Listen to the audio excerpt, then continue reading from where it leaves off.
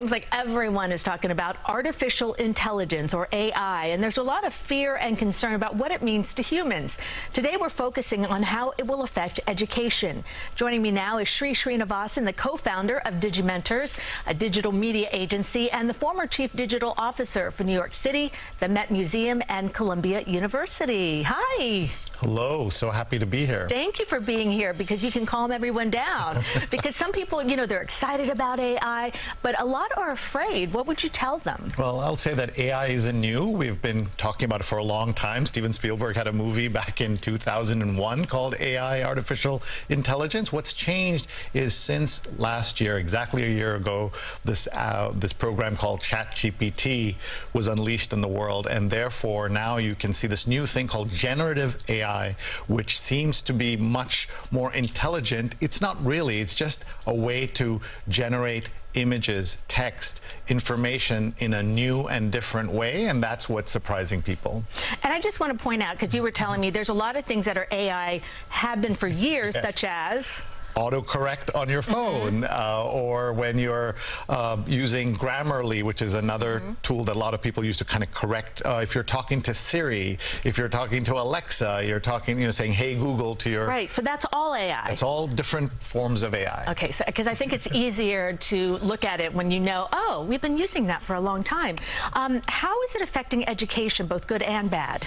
Well, the first thing is that anybody who has to you do any kind of written assignment kids to postdoc folks are all starting their work on this and starting their first assignments on there and their first drafts on there and so that's not inherently bad but if you don't know that that's what's happening that can be a problem uh, because a lot of the things that are being turned out in the results of this you know are not accurate and mm -hmm. so mm-hmm. that's the danger because people are so reliant on it and uh, it's like you know when you search on google right there was a time when we didn't know how to do it we learned how to do it and then you know that there are things that are not the right results. The problem with generative AI, it looks real. Yeah. What you're, what it's like, you ask it for an essay, mm -hmm. you ask any topic, it will give you, it'll spit out an essay for you, but you don't know if it's accurate or not.